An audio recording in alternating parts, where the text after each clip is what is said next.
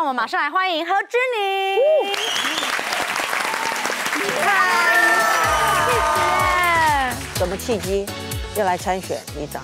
呃，有两个主要原因，然后第一个是我有个朋友是副议长助理，那我也是新竹市副议长推荐出来的，哦，对，然后我就想说试试看，嗯，对，然后再来是我本来是业务，然后我很喜欢去接触人，然后认识不同，然后看看不同面向的事情，然后来提升一下自己解决事情的能力，然后就这样出来参选。你解决了哪一哪一个 case 让你最骄傲？目前的话，我现在有先帮忙做双黄线，因为我还没有正式上任。双黄线是就是有补，就是它比较褪色掉漆，然后比较看不到，有些人就会压在上面，还有网状线。哦，那我先帮他们重新补画。你自己自己去对，自己去要发函，然后申请，跟市政府申请。我想知道里长的个性是不是都不太能太内向？要亲民，然后要比较热心，要活，就是要让大家觉得说你好像随时都会为人民谋福利的感觉。对对对，因为他看起来其实蛮害羞的。对啊，嗯，那里长要一直把弄嘛，就是比如说很多局啊，在跟大家聚餐什么的。对，呃，我们这边的话是还好，因为那是比较呃老里长可能会到时候喝酒啊，或者是聊天什么。印象中。那我们这边其实有很多社区大楼，所以其实平常也不会看到李明。对，因为手手机很发达嘛，就是直接赖啊，或者是打电话就好了，明白，就不会直接走过去啊。对对，而且社区都有那个电话可以。所以你们社区也是不会有那种大声公要里长要广播的吧？没有哎，如果有广播，可能还会被抗议，因为大楼会会对。哦，明白了，欢迎你，请坐。谢谢。我来问一下知宁，平常都在做些什么李明服务？呃，我最近就是有收到蛮多，就是有发散发出臭味、臭水沟的味道，然后我就要当侦探，然后去帮忙找一下臭味到底是从哪里来的。嗯，可是因为太难了，因为不一定是从我里发出来的，因为下水道是连通各，就是我那区的。对，那有没有什么你们里特别的地方，想要跟我们介绍一下？我们的里其实大部分都是全都是住宅。嗯，那我觉得生活机能是真的很方便，就是那边有新竹唯一的好事多。对，然后但是大部分都不是新竹人去排，都是什么竹北的啊，开车过来塞过来的。那你们里就不用直接走路过去了？对，走路就可以到了。哦，还有我们是在新竹主要两个交流道中间的那个区域。哦，对，所以虽然说我们新竹，我觉得新竹没有太多地方好玩，可是我要如果要去哪里玩的话，都非常方便，不是在城市那一区块。嗯哼，对，就是要往别的地方去，都好。南寮啊，去那边骑脚。海边，对，那边也很不错。然后那个渔港，永安渔港也很棒。所以里长也要。很知道周周遭有什么地方可以让大家去玩这样，对，因为会有人问说要推荐去哪里呀，然后我我都从来没有推荐普丁里里面的，因为里面全都是住宅啊，都是住宅，对，所以要去你的那个里那边开夜店也不可能，新竹没有夜店。啊，对，新竹是管很严，之前有都收掉了。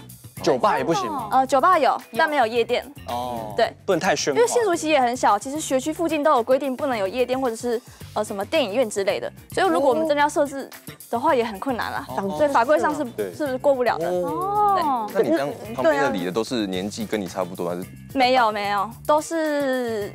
五六七十岁的人，那这样不很害怕吗？对啊，不会，因为他们很好啊，都老阿伯们都很好，真的，对对，然后很愿意带我，然后很热心，说哎有什么需要帮忙都可以直接联络我，对，然后我很多事情都会请教他们，对，因为就是从来没有参与过政治，就很多不知道该怎么做的菜鸟就对了，对对，新手新手，长辈带着走，但这样好，因为他这样很很需很想要学习，对对，就会进步的很快，嗯哼，那来看看知宁平常私底下的打扮。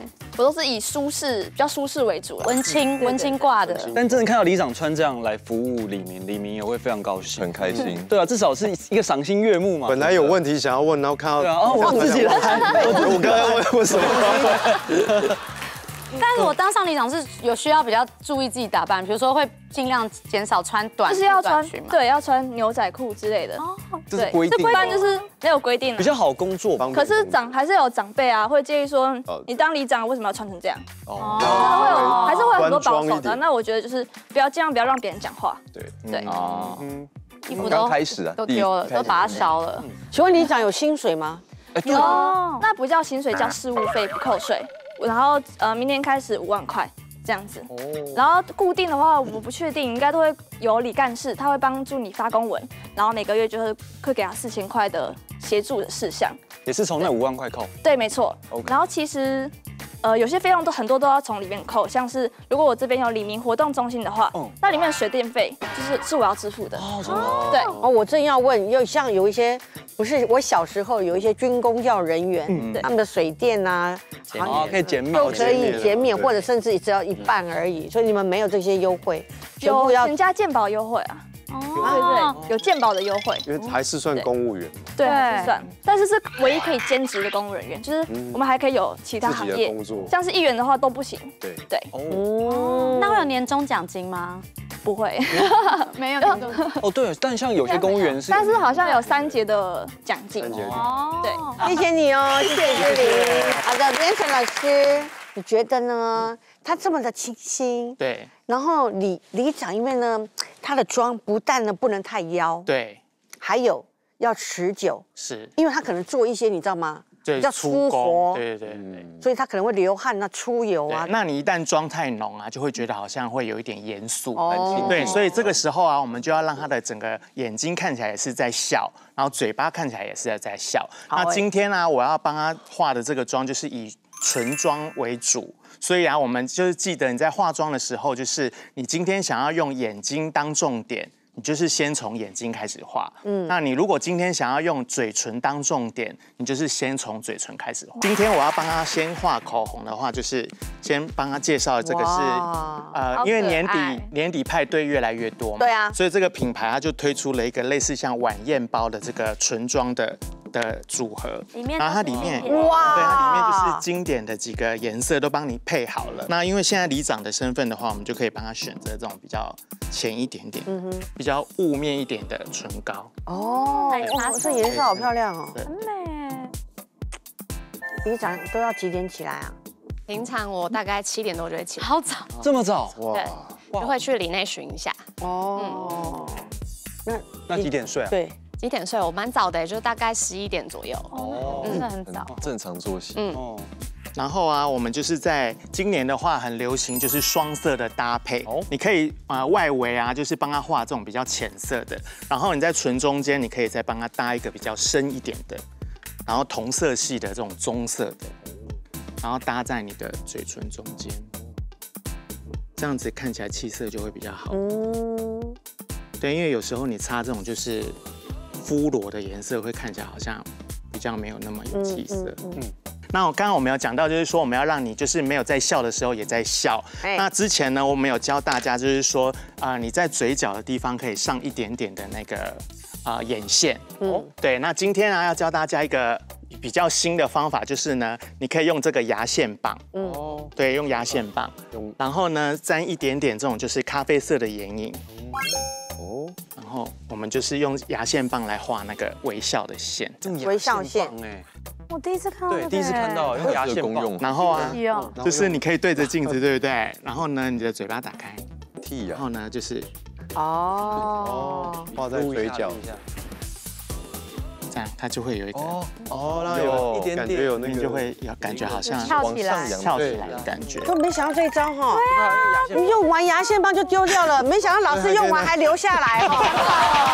没有了。用的吗？就是本汤用的，就是如果说你是一个化妆新手，你不晓得要怎么拿捏那个拿捏那条线对，因为像新梅姐之前也有在画我，今天有画啊，对，今天也有画，所以就是你没有在笑，也会觉得好像有一个微笑线。对，那眼睛我们也是要让它有那种就是在笑的感嗯。觉，就是要让他的这个卧蚕比较明显一点。那我们就先处理他这个黑眼圈的地方，然后我们在遮黑眼圈的时候是遮在他的这个眼睛看上，就是卧蚕的底下这里。嗯，对，然后这边就让它自然有个阴影，对，就是利用它的那个黑眼圈，就是哦。黑黑的地方。嗯嗯，然后我们不要遮到太上面，就是让它底下这边稍微遮一点。哦，这样卧蚕很肥美哎，对，这样卧蚕就会。出来了哎，立马对对对。那，再让它稍微再加强一点，所以呢，我们就用一支眉笔，我们就是帮它加一点点线条在，哦，哦，加在卧蚕的下面，直接画在对，就画在那个分界线的地方，让它变更肥。对。三 D 力这样它就会变成好像有，哦，真的很像在笑哎，对，就是没有在笑也会觉得在笑。卧。蚕变超大的，然后我们再让它再更蓬一点，宝宝，我们就用对，就用一个卧蚕笔，这也是一个韩国的牌子的卧蚕笔。然后呢就加在它的这个提亮它吗？对，提亮在卧蚕的地方。哇，这样子它就是亮亮的，跟暗阴暗的地方就会很明显。有个落差，就有个对比。哇哦，对，但是就是不用化到太多妆，但是就是感觉好像变成好像眼睛在笑。嗯。这种卧蚕笔跟眼影不一样，因为很多人会用眼影来画卧蚕。对啊。那眼影的话，它的那个亮片的颗粒会比较大。嘿。然后你画在卧蚕就会很像一粒一粒，像过敏。嗯嗯。所以你在买的时候要买这种就是没有亮片的。哦。珠光的，很像珍珠皮革那种。对，是像那个油油亮丝缎的那种 OK OK。对，就不要有颗粒。颗粒的。对，明白。那你如果说像李长晚上他可能要跟男朋友去约会啊，还是说可能李明他们有一些喜 party，对对对，不一定是 party，可能有啊李明有啊婚丧嫁嫁女儿嫁女儿，对嫁女儿，那你可能要去台上致辞，要啦，那这个妆就太淡了。哦，对，那这个时候啊李长就很快的呢就可以拿一支眼线笔，我们在眼尾的地方帮他加一点点眼线，眼线笔。哦，把眼神勾出来，把就比较好画。初学的人比较好，比较好控好控控制对。哇哇哦有哎，哇，它就会变变得很有女人味。嗯，然后其实也不用加太多化妆品，它就这样加一点点眼线。哦，他右脸感觉好开心哦。真的耶！你想不要再笑了，自觉在这边。对呀，而且整个有拉提的感觉。对对对，然后呢，你加了一点眼线之后呢，你再加一点点亮亮。哦，这时候就可以唇蜜了，就可以亮一点、红一点，就可以去哦。哇！哎，真的有唇蜜就比较好相处。对，就会变得比较活泼一点。哎，我现在这个角度看，她左边就很像是一个很好亲近的美女，啊，右边看起来还蛮像韩国的 IU 哎。哦，对对对，IU 的感觉，对对。哎呦哎呦哎呦哇！所以其实啊，就是不用花太多时间，也可以很简单的，就是让自己有气色，然后呢，也可以让自己变装变得很快呢。几个步骤就能打造气质小姐姐妆容，因不同的场合加上几笔，就能改变妆容去派对喽。二零二三年新年快乐！我是唐启阳，Happy New Year！想知道新一年运势如何吗？嗯，赶快订阅“女人我最大” YouTube 频道，带你掌握个星座运势哦。